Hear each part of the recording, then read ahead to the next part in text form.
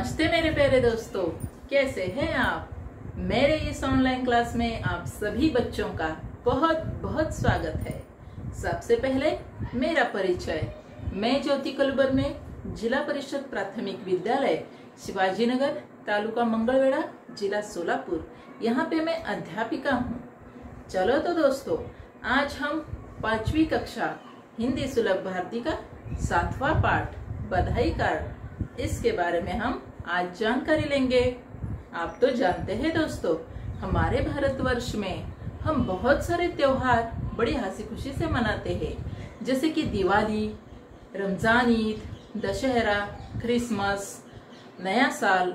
इसके अलावा भी हमारे रिश्तेदारों के विवाह समारोह, जन्मदिन, ये सब हम बड़ी हँसी खुशी से मनाते हैं। एक दूसरे से मिलकर, मिठाइयाँ बांटकर संदेश भेजकर और बधाई कार्ड भेजकर हम उन्हें शुभकामनाएँ देते हैं, शुभेच्छा देते हैं। ये सब शुभेच्छा देने के अलग अलग तरीके हैं। तो इसी में से एक वो है, बधाई कार्ड भेजकर हम शुभेच्छा देते हैं। इसके बारे में आज हम जानकारी लेंगे।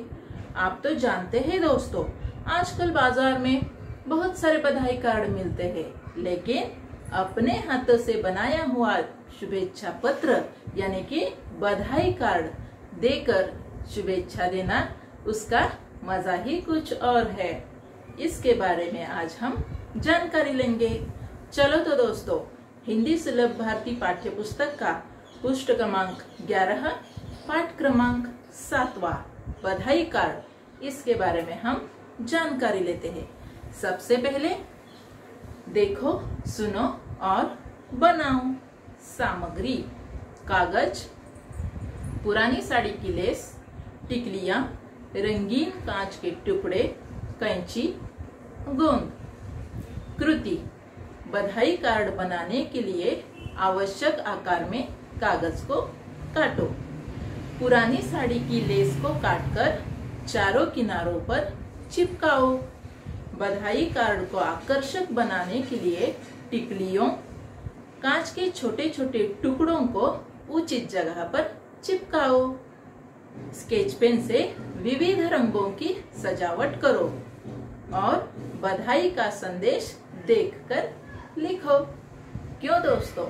आपको बधाई कार्ड बनाने के लिए आवश्यक सामग्री और कृति समझ में आई?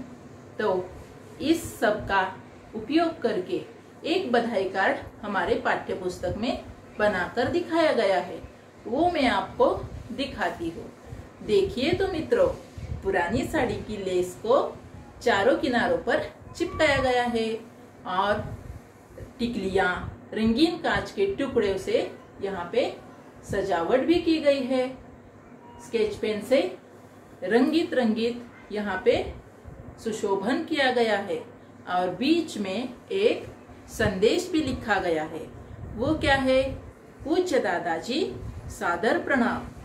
जन्मदिन की बधाई।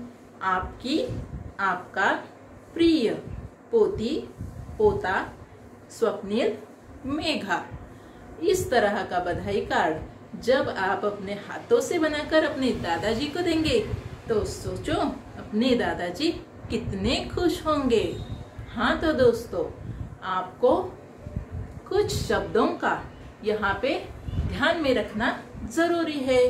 जब तुम अपनों से बड़ों के लिए बधाई कार्ड बनाते हो तो तीन शब्दों को ध्यान में रखना ज़रूरी है। वो है प्रणाम, नमस्ते, नमस्कार। और जब हम अपनों से छोटों के लिए बधाई कार्ड बनाते हैं, तब उनके लिए आशीष, प्यार और स्नेह। ये तीन शब्द ध्यान में रखना ज़रूरी है। क्यों दोस्तों? ये शब्द ध्यान में आए इन तीन शब्दों को ध्यान में रखकर अपना शुभेच्छा संदेश आपको बनाना है। चलो तो दोस्तों, इस प्रकार के कई शुभेच्छा कार्ड मेरे पास है। वे मैं तुम्हें दिखाती हूँ। ये देखिए। रंगीन कागज़ और पुरानी मालाओं के मोती का उपयोग करके यहाँ पे सुंदर सी सजावट और रंगीन कागज़ के गुब्बारों का इस्तेमाल करके एक सुंदर सा जन्मदिन का बधाई कार्ड यहाँ पे मैं दिखाती हूँ और इसके अंदर लिखा गया है, प्रिय भैया श्री राम सप्रेम नमस्ते, जन्मदिन की हार्दिक बधाई तुम्हारी बहन आदिति और एक प्यारा सा स्माइली और केक भी यहाँ पे दिखाया गया है। बहुत ही प्यारा सा ये जन्मदिन का अवसर पर बधाई कार्ड। ये है दिवाली के अवसर पर बनाया गया एक शुभेच्छा पत्र। देखिए दोस्तों, एक प्यारा सा दिया और एक खूबसूरत सा शुभ संदेश यहाँ पे लिखकर ये दिवाली के अवसर पर बनाया गया बधाई कार्ड। और एक बधाई कार्ड हम देखेंगे।